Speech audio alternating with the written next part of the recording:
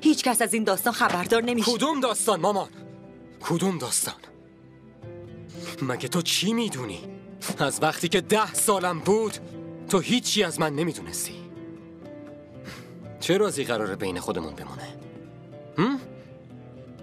تو چی فکر کردی؟ چی فکر کردی؟ این که عاشق زن داداشم شدم داری منت می‌ذاری که رسوام نکنی؟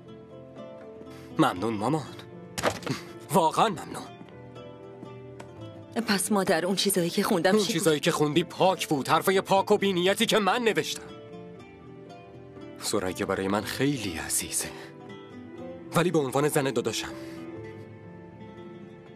از وقتی داداشم دستشو گرفت و آوردش من از تفاهمی که با هم دارن خوشم اومد همدیگه رو خیلی دوست دارن ولی ولی چی؟